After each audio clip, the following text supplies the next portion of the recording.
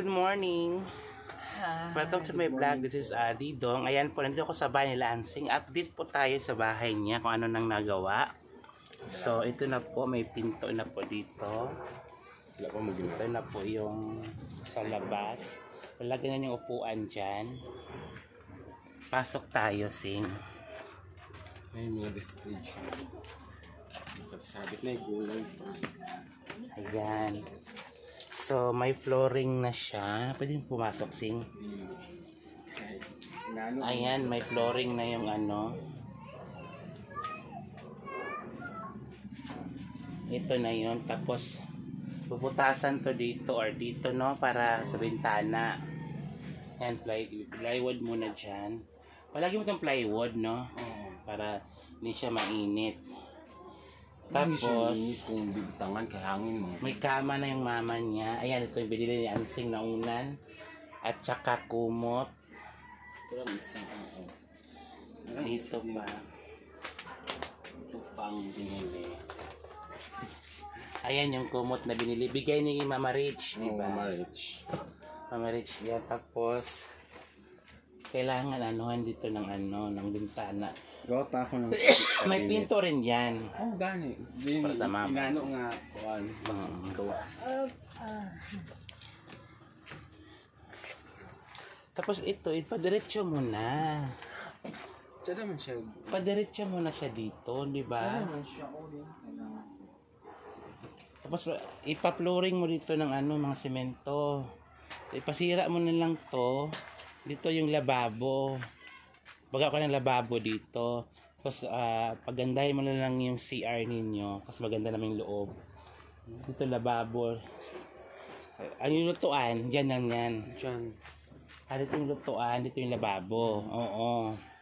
Para ano, maganda, organized. Ito naman, ipa-flooring mo lahat yan. Tapos ito, dito,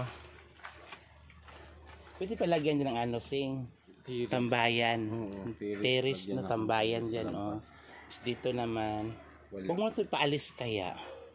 Asa mo na ako ibutang? Dito, as in na dito dito. lang, para yung Yan na lang lutuan na ako. kahoy. Yan na, yan na ako. Oo. Kay Lutuan na kahoy tapos mag-ihaw-ihaw ka ng isda. Pwede dyan, hindi ka lalabas. Diba? Hindi ako. Ito. Kasi maganda naman yung CR nila, oh. Alisin na lang yung mga niyero.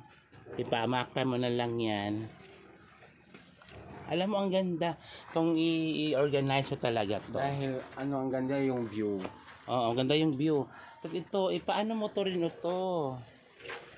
Oo. Kasi kailangan i, i, i- ano mo na lahat, i, isa mo na lahat, pagandahin mo na ito kasi marami man tutulong sa iyo.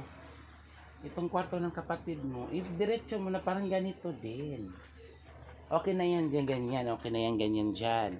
Mama, level yan dyan. Pababa dito. Ito okay na to ganyan dyan, lahat-lahat. Tapos alisin mo yung tangkalang baboy. Huwag mo itong kunin ng ano, itong puno.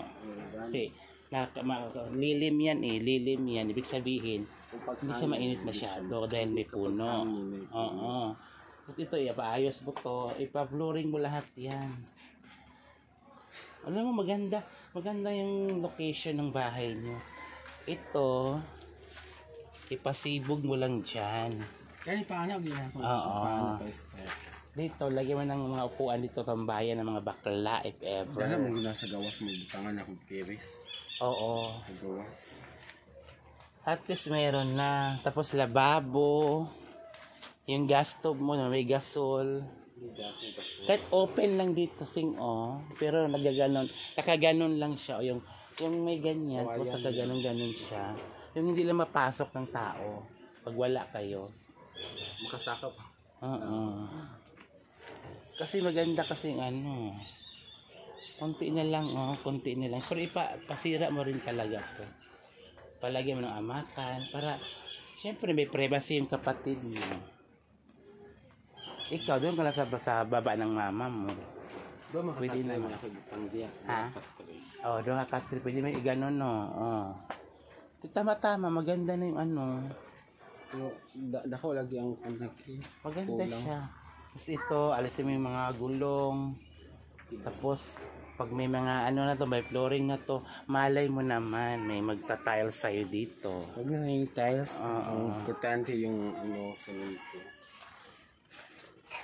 Ayan, di ba po? Thank you so much po sa lahat po na nang tumulong kay Ansing at meron pa po kasing magbibigay kaya pinatanong ako kung ano pang kulang.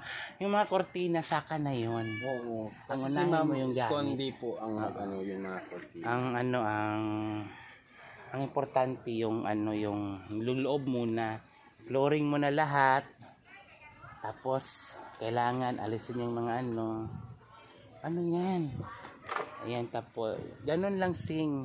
Update po yan sa bahay ni Ansing. Ayan, sing. So, malapit na rin matapos ang bahay mo. Ah, may tanong lang ako sa iyo kasi 'di ba? Marami kasing nag ah, nagtatanong. At least na lahat ng padala sa akin nabibigay ko naman sa iyo lahat, 'di ba? Mm. So, ngayon dahil ah, nandiyan na 'yan, anong plano mo sa buhay? Ah, ano bang ah, isa lang muna ang tanong ko sa iyo. Ano bang pangarap mo sa buhay? Ano, makabili ng lupa lang. Yun lang. na makibili ng lupa. Diba kasi YouTuber ka na, malay mo, marami ka para maging, magiging subscribers, at saka isa pa, ah, tawag nito, ipunin mo lang yan, makabili ka, malay mo may tutulong sa'yo. Pero hindi ko naman sinabi, hindi ako nagpaparinig po. Yun talaga pangarap ni Ansing sa akin. Ah, noon pa, sinabi sa akin na, ni Ansing nung unang kami nagkita. Ngayon, nandiyan na yan. ah, may mga kulang pa naman sa bahay mo, di ba? May kulang. So, ang pangarap talaga is Lupa. kalupa Oo, ka. makalupa. Oo, tama din yun, okay din yun. Kasi sa akin, kasi sa Davao, hindi kasi ako makauwi sa pamilya ko kasi ang daming requirement. Pwede ako magpa-swab test, eh, bakit hindi?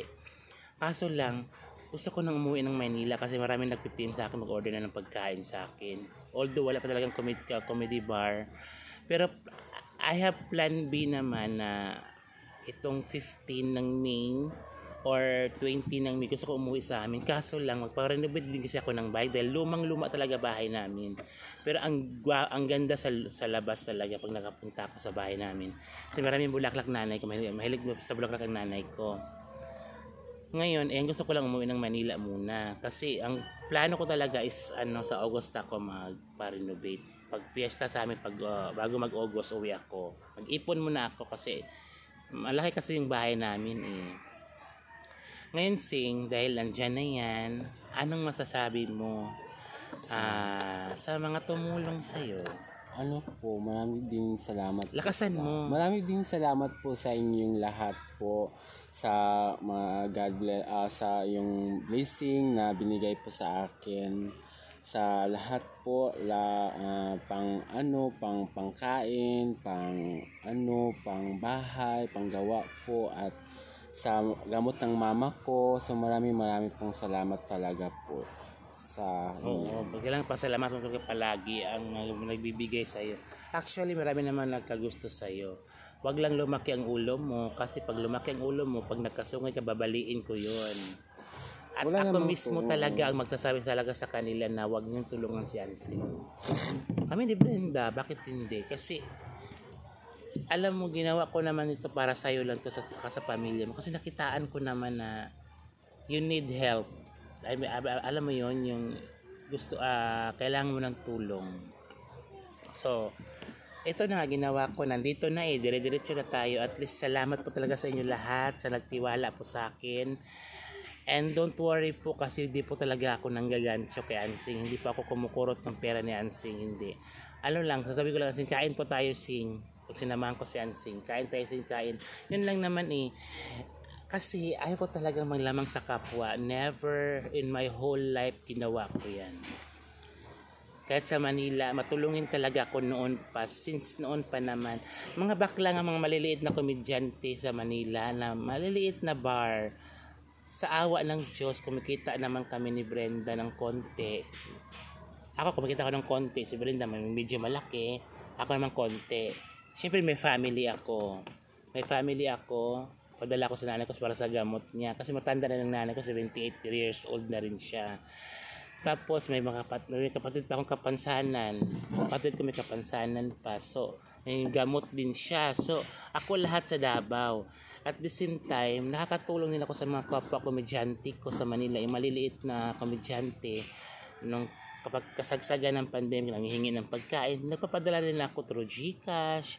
Tapos may, po, may mga dilata naman akong mga binibigay sa akin, binibigay ko sa kanila din. Kaya nakakatulong din ako kahit papano in a nice way lang naman to.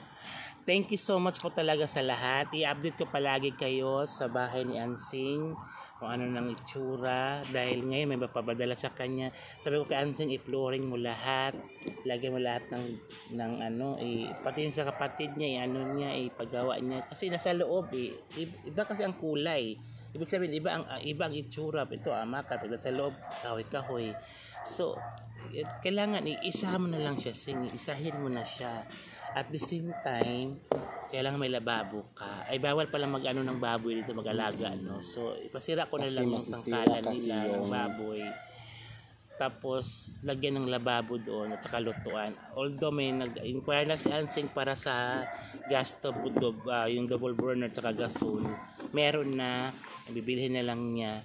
Pero sabi ko sa kanya, please unahin mo ang Bahay. flooring Ano bahay? saka sa bahay, sa loob. Kasi, pag na-flooring na, doon mo na makikita kung ano ilalagay mo dito na gamit, ano ilalagay mo dito na gamit. Doon mo makikita kung, kung ano ba dapat ito na gamit. Di ba po? Di ba ganun po? Kasi, kung magbibili ka ng bibili ng gamit, eh pag natapos na pala sa flooring, hindi pala siya pwede doon. Sabi mo sa kanya, huwag ka na bibili ng gamit, i-flooring mo na lahat may amakan, may may may ano na, may may bubong, may nyero kasi pag gamit ang inuna mo, masayang lang din kasi hindi siya bagay doon na lugar, di ba? So, sabi ko sa kanya, unahin ang flooring lahat. Eh, sa kaso lang natigil dahil wala lang ano, wala pang pambili, di ba? So, mamaya bibili kami dahil may pambili naman na magpapadala si Ma'am Miriam. Maria ba? Malapana. Ma'am Ophelia, thank you so much po talaga. Marami pong salamat Ma'am. Ophelia. Mama Rich, thank Mama you, Rich, thank you, thank you so much. Hindi po ako magsasawa sa pagtulong ni Ansing, sa pag-guide ni Ansing. Ah, thank you sa lahat po talaga dahil nandyan kayo, tumutulong kay Ansing. Thank you so much. Ako hindi na ako makatulong ni Ansing ng financially, pero yung guide, Guide guidance guidance Ansing, and ibibigay ko share. talaga. Thank you so much. Pala salamat ka. Maraming maraming pong salamat sa lahat po sa la, ano na tumutulong sa akin si Ma'am Joanne Scondi, pang-stove niya at saka sa kanyang anak po si Jeremy Ken Scondi at si Rotter Scondi. Maraming maraming pong salamat uh, Scondi family po sa pang-stove at saka pang ano pang ano pang lutuan lang ng stove gasol po. And marami pong sa lahat po si Ma, ah, Sir Spencer Kailing and Marivic Dolor and Mama Marich and Mama Maris, maraming maraming salamat. Ma'am Altia, sa ngipin po, maraming maraming pong salamat. And Ma'am Ofia para sa kabit ng kuryente at tubig.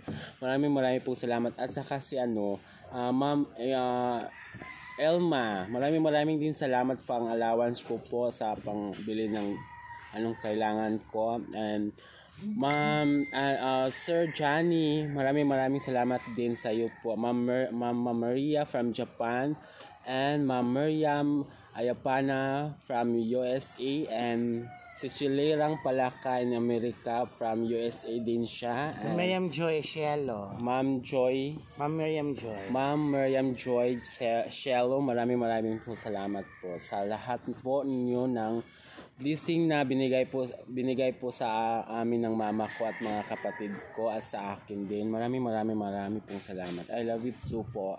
Thank you so much po sa lahat. Update, update lang po kami. Love, love you po sa inyo lahat. Bye-bye.